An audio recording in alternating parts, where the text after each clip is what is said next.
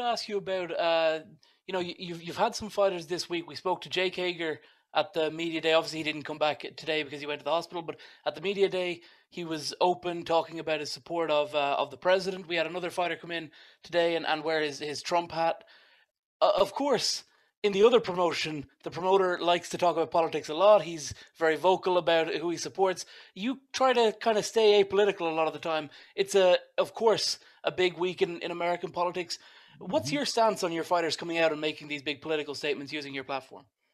You know, I think that you know, listen, we we let the fighters have their own sponsors. We let the fighters express themselves as long as it's you know within guidelines of something that is you know uh, done properly, let's say, and not cross the line a little bit. This is a very uh, touchy subject because of the politics and where this country is at right now. But um, really, I feel like if if you know they have the you know the desire to have that uh, be on their shorts or be on their their uh, banner, I mean that's really really up to them.